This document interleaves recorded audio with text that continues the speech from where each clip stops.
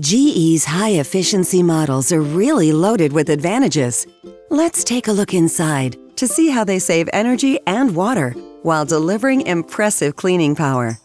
With GE top load high efficiency washers, the traditional post style agitator is replaced with an infusor wash plate at the bottom of the basket.